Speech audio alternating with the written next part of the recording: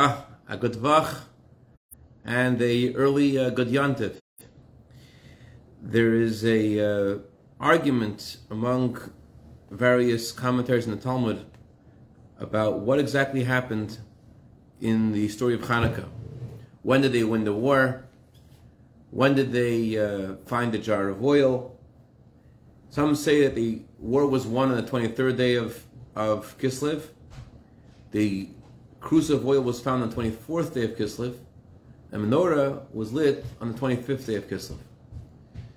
So today is, of course, a day of great miracles then, the day they won the war. Tonight is, of course, a day of a miracle finding the cruse of oil. But what's the miracle about the 25th day of Kislev? So there are many answers to this question. One answer is that when the Maccabim are in the Beis Hamikdash, they're in the temple, they find only one cruse of oil. It's not something which seems significant because it's only going to last for a day. And yet the miracle is that they didn't look at what was going to happen the next day. They didn't look at their being able to light the menorah for a day as something puny and insignificant. Instead, they looked at the fact that God had chosen them for this circumstance and this place, and that God had given them the, the, the ability to light the menorah, to bring light to the world for one day. And I said, This is what God has given us, this is what we're going to do. And that's also the story of Yosef. Yosef is in prison, and despite the incredible suffering that he experienced personally, yet the Torah says that Yosef looks around the prison and he sees the butler and the baker, and their faces are down. He says, Why are your faces so down? Why the long faces? And because he asked that question, they told him their dreams.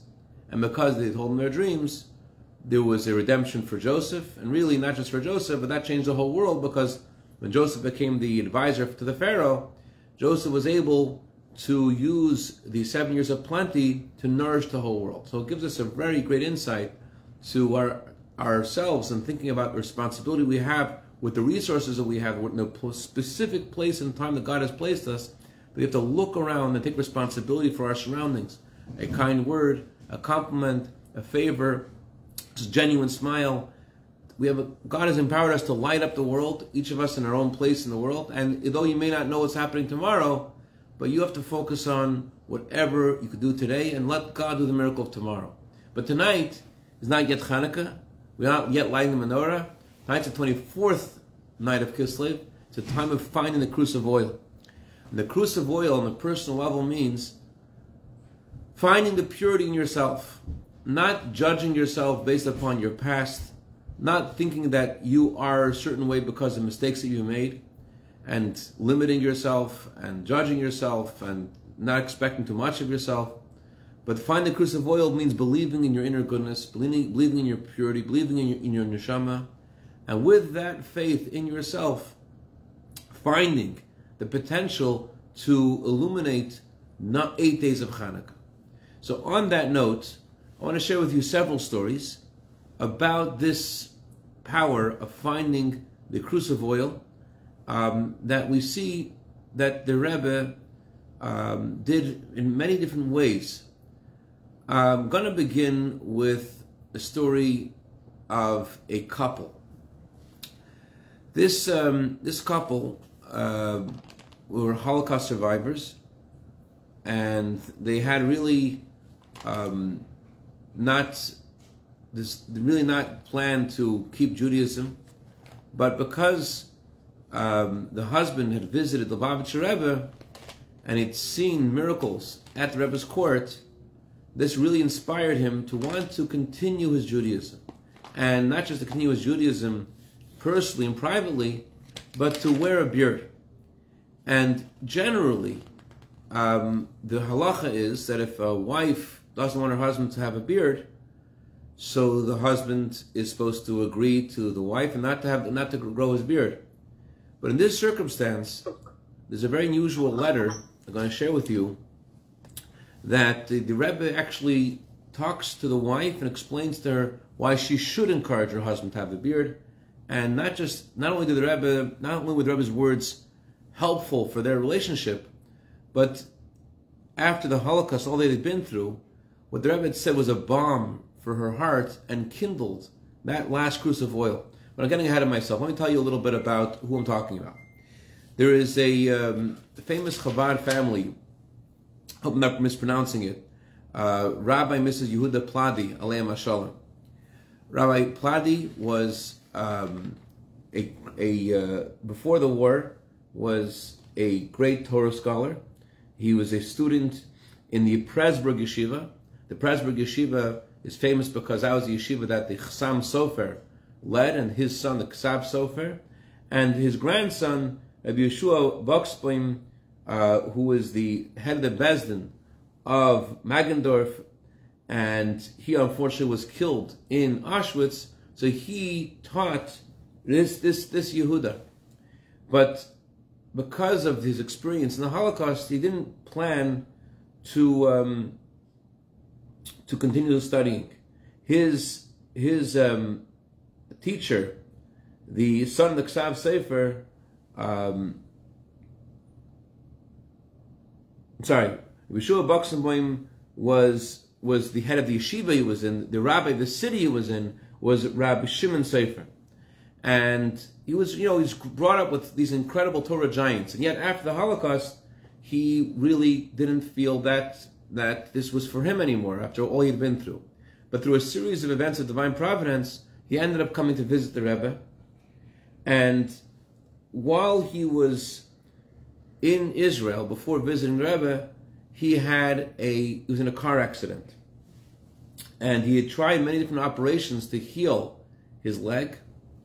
And he came before the Rebbe, and the Rebbe was giving out wine after Simchas Torah, Kos Shel Bracha, as Rebbe would do every every Simchas Torah. After Simchas Torah, would give out wine wine for a blessing.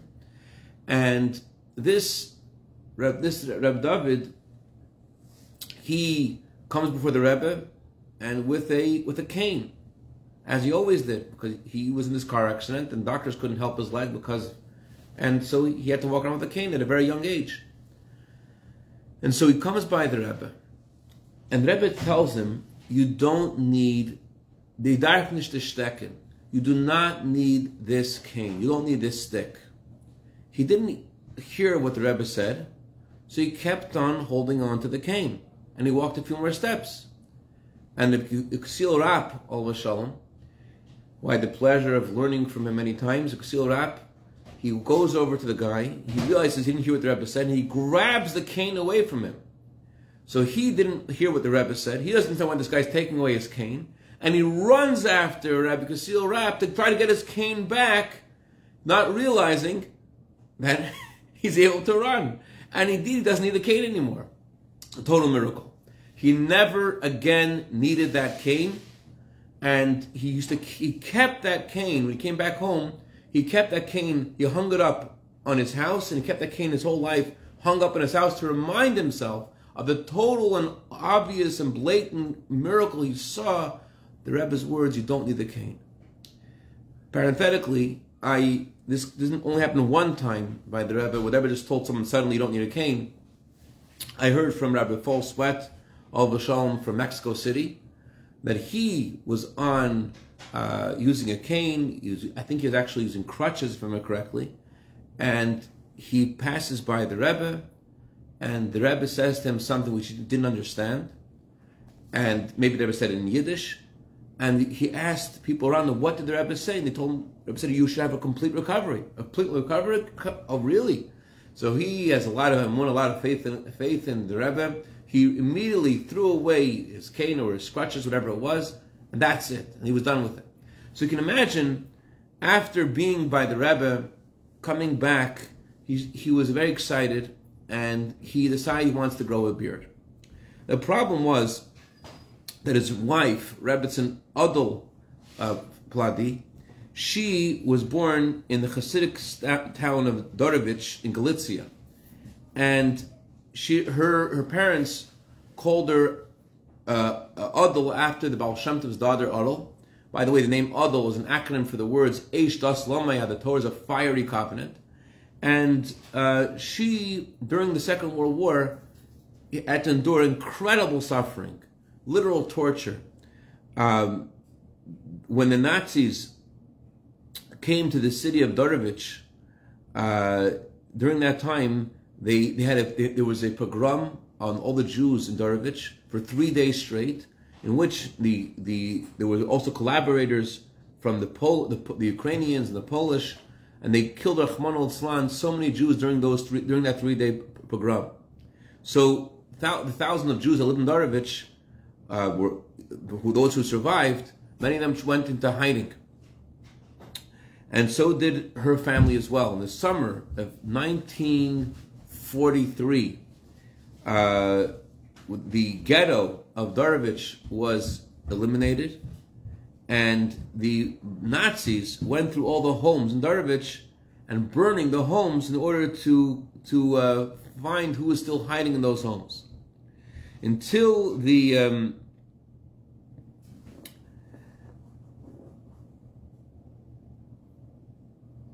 and, of course many many Jews were killed during this this time. So Rebbetzin Pladi, um, she survived in a, in a very under very harsh conditions. She was was they, they found a place to hide, a place without water, a place without electricity, a place which was very very tiny, a little bunker, and deep in the ground. Just for example, like her little sister Tunya once went out of the hiding place and was immediately killed, Rahman by just went to get some air, and she was immediately killed by a Nazi. Rebbetzin Pladi and her father only they, her, her father Yeshua, only she and her father remained alive. The entire family was killed, and that's how they survived. She and her father um, were uh, went to Israel. Now, her husband was killed by a Nazi who had a beard, and because he was killed by someone who had a beard, she had a trauma from beards.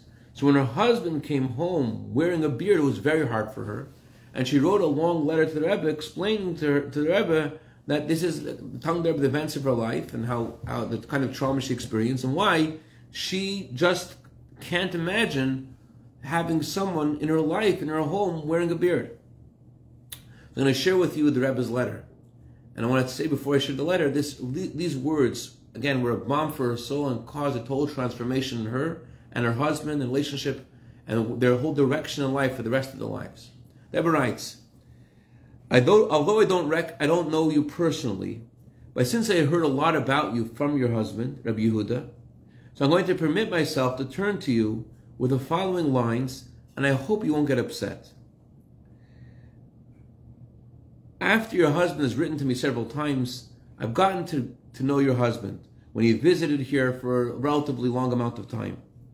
And based upon our conversations several times, where, where he has told me different events of his life, I was happy to see that he found something, he found inner peace in his soul by connecting more to the perspective, to, to the Weltanschauung, to the perspective of the world, a, a world perspective that emanates from our Torah, the Torah of life, the Torah of truth. When, in other words, when her husband started embracing the Torah ideology, that made him, that gave him peace. After all he's been through in the Holocaust, by him embracing the Torah, the Torah of life, the Torah of truth, that gave him a, a, a inner soul peace.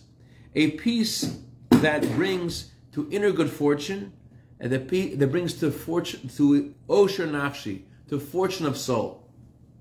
So certainly, Rebbe says, your husband coming closer which the result of this are harmony and good fortune are possible with the assistance of the Ezer Kenegdo. The Torah says that a wife is called a helper to her husband, meaning the Ezer, meaning the wife, meaning you.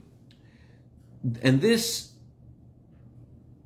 this, um, this, this, this perspective uh, became resonated with me hearing from your husband about the assistance that, that he found in you and especially your assistance in the aforementioned in his becoming closer to Judaism. So it's so necessary to, to tell to speak to at length about the necessity of a person to have inner peace and harmony in order that the life can be the life that's worth living. In order for a person to have life worth living, they have to have an inner peace and harmony. Especially in our time, our tumultuous time, tumultuous both for, for, for the community and tumultuous for the individual. And therefore, the Rebbe says, I, I strongly hope that just like in the past, so too in the future, you should be the right hand of your, you should stand to the right of your husband. Also, in his coming closer and his advancing in Judaism further. And as everything that's alive, whenever something, there's something that's alive, it always grows. So my, my intent is, Rebbe says, that both of you together should go and ascend in life together according to our Torah, the Torah of life. with all that I've written, Rebbe says, I, I want to specifically address directly what you've written to me about. In other words, until now, Rebbe was just speaking in general about coming closer to Torah and being supportive of her husband making a step, making steps in his Judaism, how her support will help him to have harmony and peace, and how that's so necessary for a person to live life the way life is meant to be living. You have to have harmony and peace, and therefore, when he makes a step in his Judaism, your support is, is really important for him to have um, life worth living, to have harmony in life. Then the Rebbe goes and, addresses her specific issue again that she said, she wrote to the Rebbe, my, my first husband was killed by a Nazi had a beard, and I don't want my husband to have a beard. The Rebbe continues and says, I'm, I'm paraphrasing from the Hebrew. My, I, I decided that I want to write to you explicitly. And the intent of writing is to express hope and together with encouragement and strength. In other words, Rebbe says, I want to not just write, my intent of writing is to give you strength and hope. Sometimes a person in their life encounters this, when a person starts to advance their Judaism, they encounter difficulties. And especially when you meet people who haven't reached the stage in life that you're in, or you've advanced in Judaism, someone else hasn't. So when you meet people who haven't reached the stage you are in in life, so what do they do in order to make themselves feel better that they're not up to where you are? So what they do is in order to strengthen themselves in their own eyes, in the eyes of others, in the eyes of, of other creatures, in the eyes of anyone else, what they do is that they ridicule people who have made strong steps in their Judaism and and they've reached a higher step in their world in their in their Weltanschauung and their in their in our Torah and our faith people have reached a higher level. So others who are on a lower level, in order to make themselves feel better, what they do is, is they ridicule those who have advanced to a higher level in order to make themselves feel better, look better in the eyes of others. So our sages have encouraged us and warned us, do not be embarrassed because of those who ridicule you. Because the reason our sages specifically encouraged us, uh, encouraged us uh, uh, is because they knew that it's not an easy easy thing. To be ridiculed is not an easy thing. Uh, and I mean specifically a, a this specific aspect, growing a beard, which your husband, while he was here in New York, he began to grow a beard.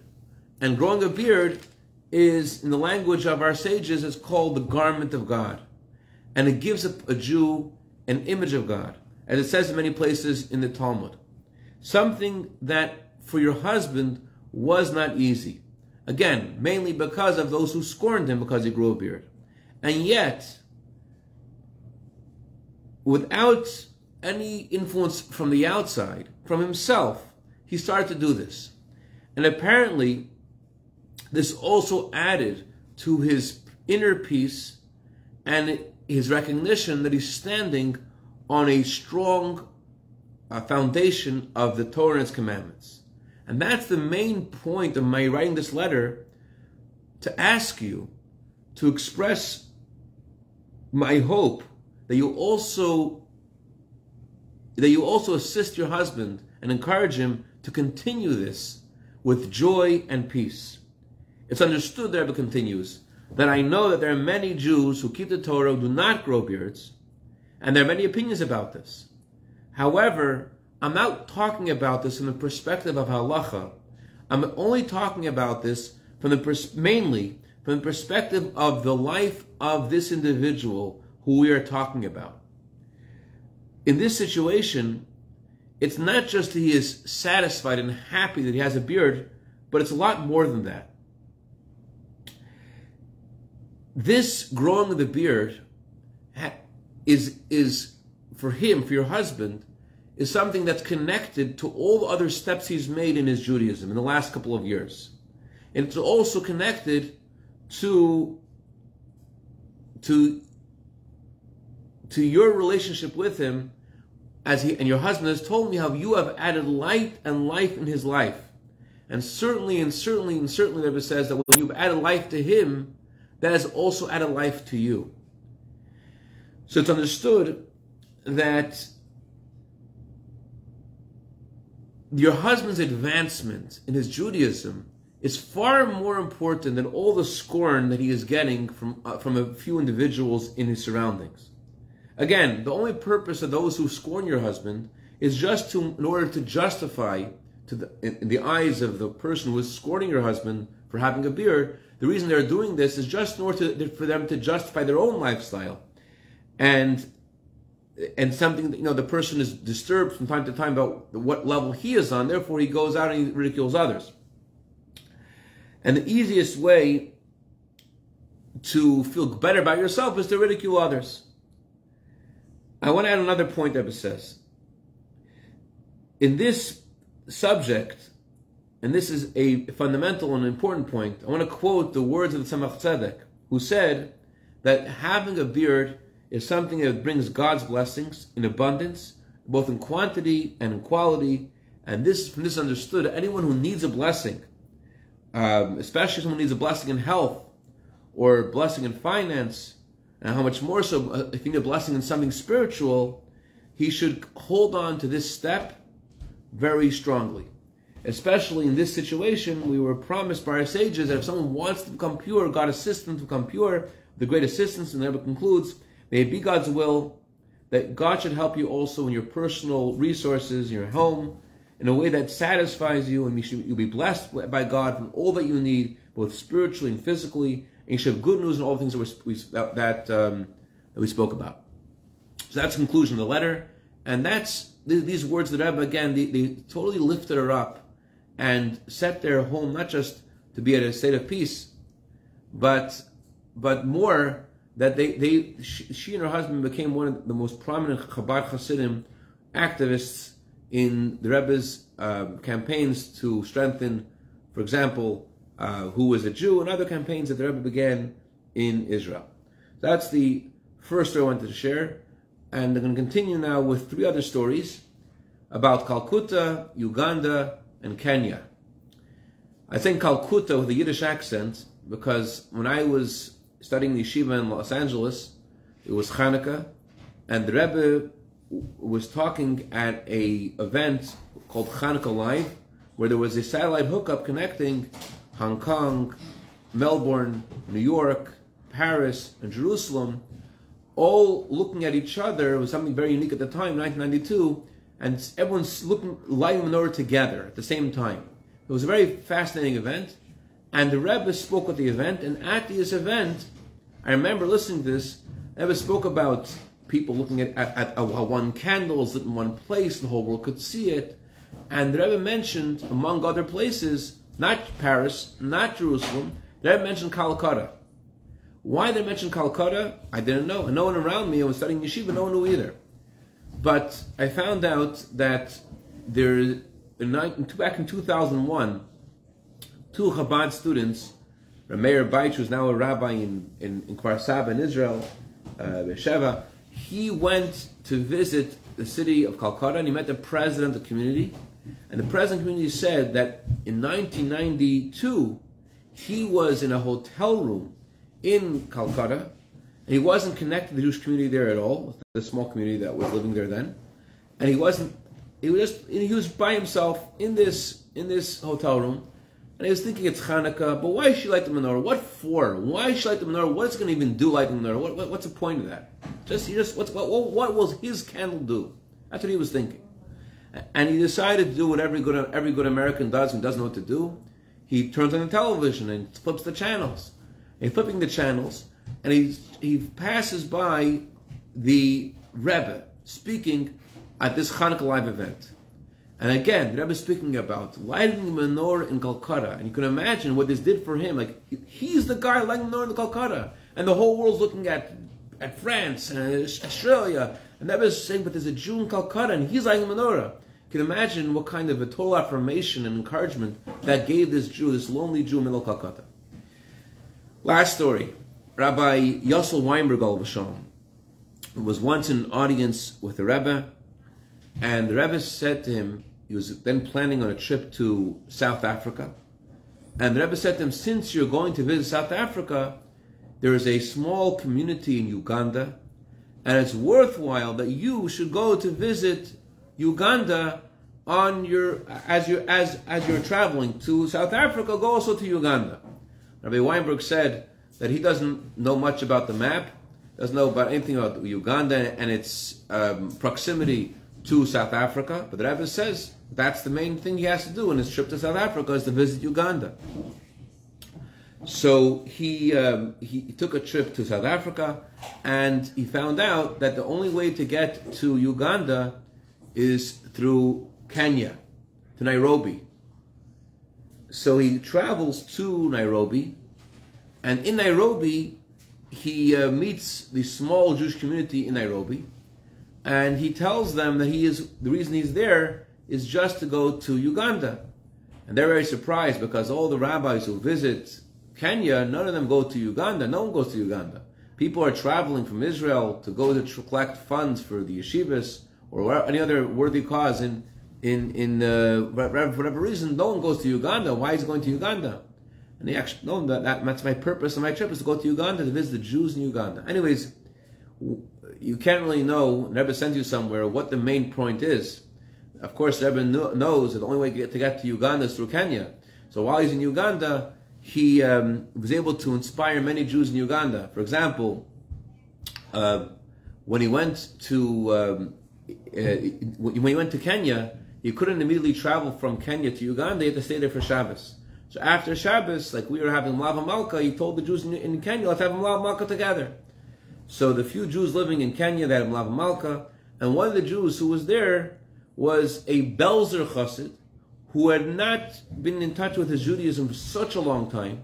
And he was saying a Hasidic story, and he was saying a Hasidic melody, and this guy really was so excited about this. And he said, I haven't tasted this for 40 years. He was so excited, and he maintained the connection. Name was Saul, if I know correctly.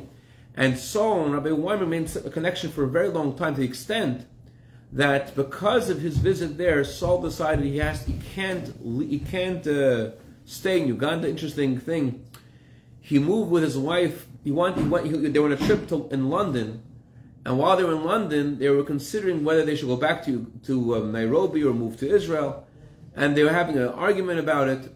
And he, he sent Rabbi Weinberg a letter asking, or he called Rabbi Weinberg rather, asking him, "Can you please come to London to talk to us?" About whether or not we should leave and go to Israel.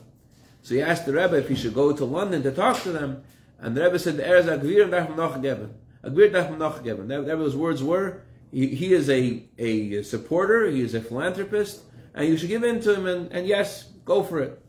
Anyways, that's just a po- interesting uh, postscript, but he influenced this man and many others to come close to Judaism. In fact, he was staying in a hotel in, in uh, Kenya, in Nairobi, and he said, in, in this hotel was so primitive that there's no telephones in the hotel. So you, to, you rang a bell, and then one of the uh, one of the employees of the hotel would run up to your room and say, "What do you want?" So he sent a note in English to the front desk. Can you please send up uh, hot water and two raw eggs? He wanted to make eggs with some hot water.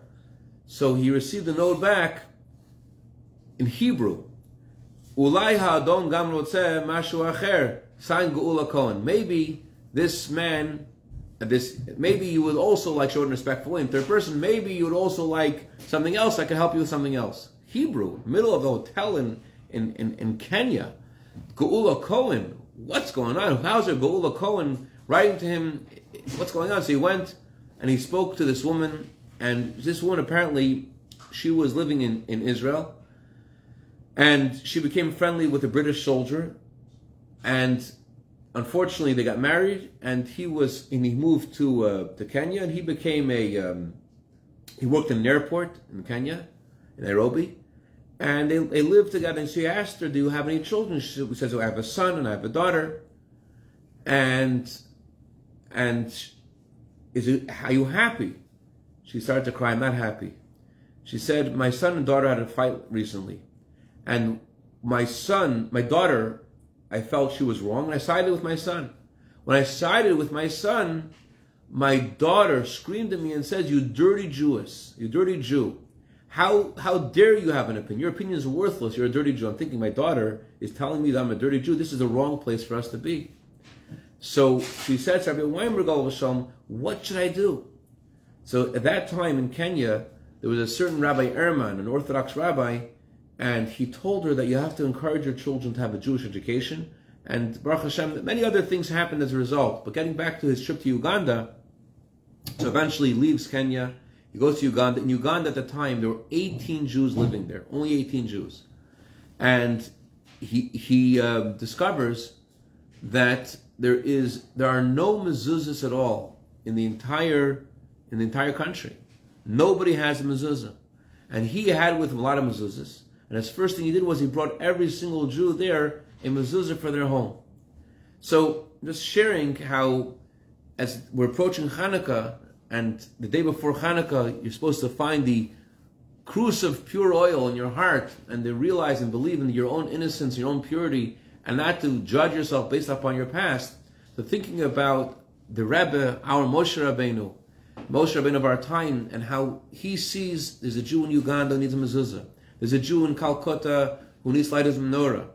And realizing that it's, and there's a couple over there, and this couple hasn't having an issue because her husband uh, has a beard and her and her first husband was killed by a Nazi who had a beard, and, us, and, and the Rebbe's ability to reach into every Jew's heart and to find their way of connecting to Hashem really opens our eyes about ourselves and to make us understand that that there is a of pure oil, and very soon we'll be reunited physically with our Rebbe, the coming Mashiach. And meanwhile, tonight, till Mashiach comes, if, if is delayed, we have to look and find that cruse of pure oil, the purity we have inside of us and with that power, we have to light the menorah in ourselves, in the world, in the Beis Hamikdash, and we should see it happen tonight, mamish. A good vach and a good yantif.